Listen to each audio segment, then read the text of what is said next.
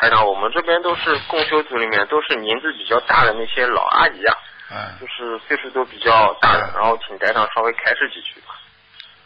你记住一句，你首先这种想法你就是不对的。什么叫年纪大老阿姨啊？不是你众生平等，你把菩萨这句话忘记，你还想做菩萨，所以你要下去呢。嗯你怎么最好都是小姑娘，你天天看了开心啊？你就是要用这种环境来锻炼自己的。你今天是学佛的，又不是去看好看难看的了，这没出息了哦。你买本画报回来看看好了，你看看电影演员好了。神经啊！你去学佛的这些老妈妈、老阿姨都是未来菩萨，听得懂吗？嗯，听得懂。你去你去跟人家进修的话，你还要觉得怎么样好坏啊？我可以告诉你，你的气场不会被他们带坏的，你的气场也没什么好。嗯人家老阿姨的话，拼命的念经的话，人家气场不比你差，除非那些呱呱呱呱呱呱这种人，你不要去理他。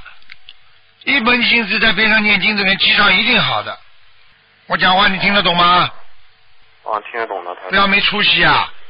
怎么最好跑着去弄两个小女孩在那里开心啊？看了，神经啊你啊！那你修什么心啊？和尚为什么到山上去了？像你这种人应该好好叫你闭关了，就叫你去出家去闭关了。我告诉你，分别心这么重嗯，好的好。不可以的。嗯，我可以告诉你呀、你又不是到俱乐部去，你就到俱乐部去好了。女孩子一大堆呢，这种女孩子哪个理你啊、哪个有良心的？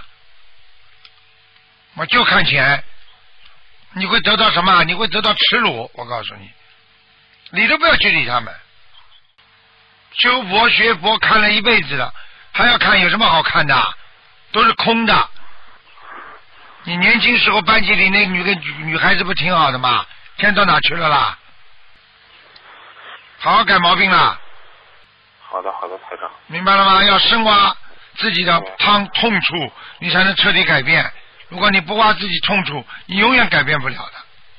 好的好的。明白了吗台长。你要看看那些老妈妈多可爱，要看看那些老妈妈多可怜，他们没几年你看都看不见了。那些老妈妈如果都是你母亲呢？这些阿姨们多慈悲啊，多出去度人呐、你要有这种想法。如果这是你的阿姨，是你的母亲，从小把你领大，你会有这种感觉吗？嗯，好的台长。这就叫境界，明白了吗？嗯，明白了。好好改毛病啊，嗯，好好念礼佛，否则的否则的话你不会下去的，听得懂吗？嗯，好的。嗯，再见了啊。